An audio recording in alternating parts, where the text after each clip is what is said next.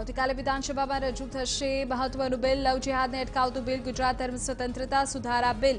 બે હજાર એકવીસના નામે થશે રજૂ. આરોપીને પાંચ વર્ષની કેદ અને બે લાખથી વધારે રકમની દંડની જોગવાઈ. એપ્રિલ અને મે માસમાં લેવાનારી જીપીએસસીની પરીક્ષામાં ફેરફાર. પરીક્ષિત વન અધિકારી વર્ગ બેની પરીક્ષા બે અઢાર એપ્રિલે યોજાશે. તો નાયબ મામલતદાર અથવા સેક્શન અધિકારીની પરીક્ષા નવમી મે યોજાશે. જ્યારે સિક્યુરિટી સુપરવાઇઝરની પરીક્ષા ત્રેવીસ મેના રોજ થશે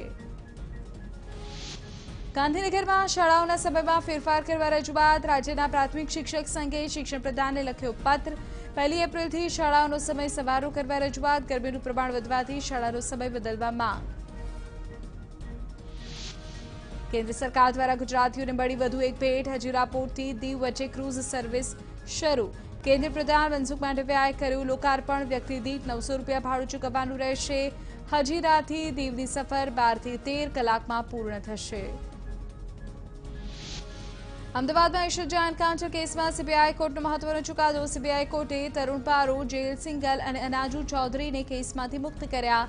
ક્રાઇમ બ્રાન્ચના અધિકારીઓએ એમની ફરજના ભાગરૂપે કાર્યવાહી કરી હોવાનું કોર્ટે જણાવ્યું. તો સાથે જ કોર્ટે કહ્યું કે ઈશ્વર જહાં લશ્કરે તૈબાની આતંકવાદી હતી. એ ઇનપુટને નકારી ન શકાય. ઈશ્વર જહાં કેસમાં દોષમુક્ત થયા બાદ નિવૃત્ત ડીવાયએસપી તરુણ બારોટનું નિવેદન કહ્યું, અમે અમારા ફરજના ભાગરૂપે ઇનપુટના આધારે જ કરી હતી કાર્યવાહી. સાથે જ કહ્યું, સારું કામ કરનારા પર લાગે છે આરોપ. રાજ્યમાં બેકાબુ બનતો કોરોના. છેલ્લા ચોવીસ કલાકમાં રાજ્યમાં બે હજાર ત્રણસો સાઠ નવા કેસ નોંધાયા તો નવ દર્દીઓએ ગુમાવ્યા જીવ. છેલ્લા ચોવીસ કલાકમાં બે હજાર ચાર દર્દીઓ સ્વસ્થ થઈને ઘરે પરત ફર્યા. મૃત્યુઆંક ચાર હજાર પાંચસો ઓગણીસ. રાજ્યમાં સક્રિય કેસો આંકડો બાર હજાર છસો દસને પાર. ગુજરાતમાં કોરોના મહામારી સામેનો જંગ જીતવા આવતીકાલથી મહારસીકરણ અભિયાનનો પ્રારંભ. પિસ્તાળીસ વર્ષથી વધુ વયના તમામ લોકોને આવતીકાલથી કોરોનાની રસી મળશે. સીએમ રૂપાણીએ લોકોને મોટી સંખ્યામાં કોરોનાની રસી મુકાવવા કર્યો આગ્રહ. રસીકરણ અભિયાનને લઈને સીએમ રૂપાણીએ કહ્યું, દેશમાં રસીકરણ મુદ્દે ગુજરાત અગ્રેસર છે. રાજ્યમાં પંચાવન લાખથી વધુ લોકોને કોરોના રસી અપાઈ ચૂકી છે.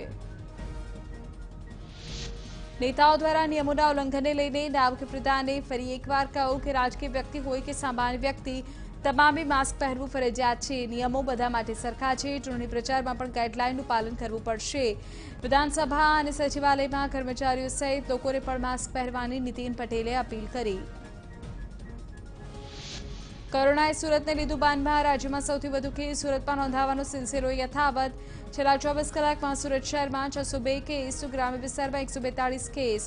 સુરત કોર્પોરેશનમાં વધુ ત્રણ દર્દીઓએ કોરોનાના કારણે ગુમાવ્યો જીવ. છેલ્લા ચોવીસ કલાકમાં સુરતમાંથી કુલ સાતસો ચાર દર્દીઓએ કોરોનાને આપી માત. સુરતમાં કોરોના વોરિયર્સ આવ્યા. કોરોનાની ચપેટમાં નવી સિવિલના ત્રણ ડોક્ટર્સ, મિબેરના ત્રણ ડોક્ટર, એક નર્સ, ખાનગી હોસ્પિટલના આઠ ડોક્ટર કોરોનાગ્રસ્ત થયા. તો મનપા ડોક્ટર, એન્જિનિયર, કર્મચારી, કોરોનાથી સંક્રમિત થયા અડત્રીસ વિદ્યાર્થીઓ અને વિવિધ વ્યવસાય સાથે જોડાયેલા બોતેર વેપારીઓ પણ સંક્રમિત. સુરતમાં કોરોનાને લઈને તંત્ર એલર્ટ, પાલિકા દ્વારા વોર્ડ પ્રમાણે કરાઈ રહી છે કામગીરી. બસ મારફતે પ્રવેશ કરી ટેસ્ટિંગમાંથી છટકી જતા લોકો માટે સ્પેશિયલ ઓફિસરની નિમણૂક. અમદાવાદ શહેરમાં કોરોનાનું સંક્રમણ વધ્યું. છેલ્લા ચોવીસ કલાકમાં શહેરી વિસ્તારમાંથી નવા છસો અગિયાર કેસ, ગ્રામ્ય વિસ્તારમાં નવા નવ કેસ નોંધાયા. અમદાવાદ શહેરમાંથી વધુ ત્રણ દર્દીઓનો કોરોનાએ લીધો ભોગ, તો છેલ્લા ચોવીસ કલાકમાં અમદાવાદમાંથી પાંચસો પંચાણું દર્દીઓએ કોરોનાને આપી માત. સિવિલમાં કોરોનાની સ્થિતિ ગંભીર. માર્ચ બે હજાર વીસ જેવી સ્થિતિનું પુનરાવર્તન રોજ સોથી એકસો પચીસ જેટલા ગંભીર કેસ દાખલ થઈ રહ્યા છે. ધૂળેટીના દિવસે એકસો ઓગણત્રીસ દર્દી દાખલ થયા. ચારથી પાંચ દિવસમાં ફૂલ થઈ શકે છે સિવિલ હોસ્પિટલ. અમદાવાદ સંક્રમણ વચ્ચે લોકોની બેદરકારી પણ બેકાબુ બની રહી છે. મણિનગર શાકભાજી માર્કેટમાં માસ્ક વગર જોવા મળ્યા લોકો. રાજકોટમાં કોરોનાના કેસ વધવાનો સિલસિલો યથાવત. રાજકોટ શહેરમાં છેલ્લા ચોવીસ કલાકમાં એકસો બોતેર કેસ જિલ્લા સ્તરે છત્રીસ નવા કેસ.